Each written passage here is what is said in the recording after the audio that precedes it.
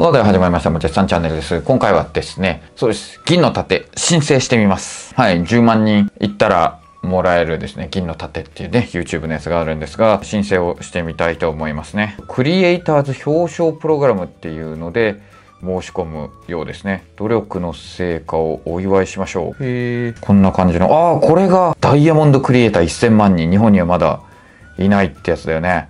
すげえ。海外のね、人のは見たことあるんですけど、あの、オーストラリアのね、あの、有名なね、エクササイズの女性いるんですけど、その人ので僕は見たことあるんですけど、あ、もちろん YouTube 上でですね。仕組み、資格要件の審査、YouTube クリエイターのプログラム、YouTube 独自の裁量によって運営されるプログラムで、ルールに従って活動しているクリエイターのみが対象となります。チャンネル表彰前に審査され、著作権侵害の警告、コミュニティガイドライン違反、チャンネル登録者数の水増しなどがなく、あ、水増しとかあんだ。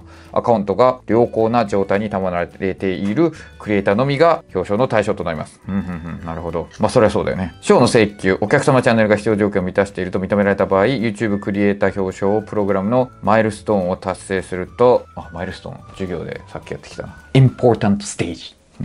っていうふうに説明しましたを達成すると、1週間以内にクリエイターツールに通知が届きます。へえ、通知にはクリエイター表彰プログラムの受け取りポータル入力する固有の受け取りコードが記載されています。このポータルで必要な操作は、チャンネル名と配送の情報だけです。うんうんうん、情報入力だけですと。で、発送、お客様の情報を送信すると、YouTube クリエイター表彰プログラムを記念立ての作成が、あ、制作が開始されます。お住まいの地域により異なりますが、制作してから発送するまで2、3週間ほどかかります。記念立てが届くまで楽ししみにお待ちください。なるほど、なるほど。じゃあ、申し込んでみましょう。アワードを受け取る。ログイン。一回パスワードミスった。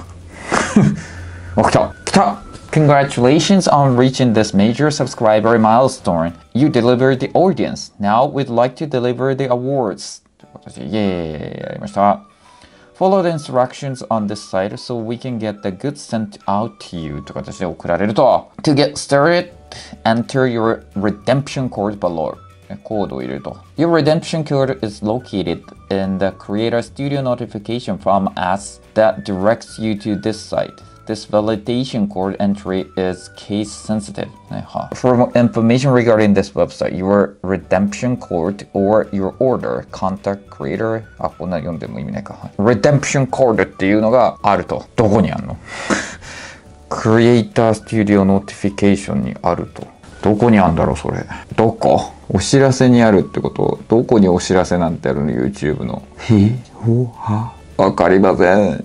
わかりません。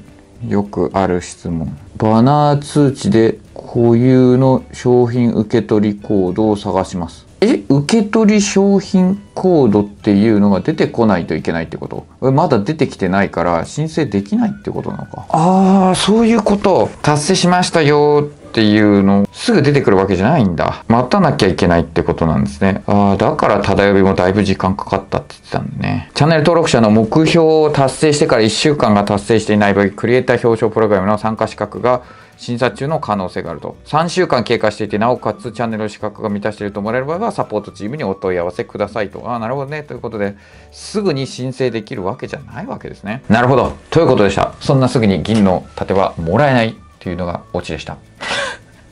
はい、ご視聴ありがとうございました。天気もごちん知らんかった。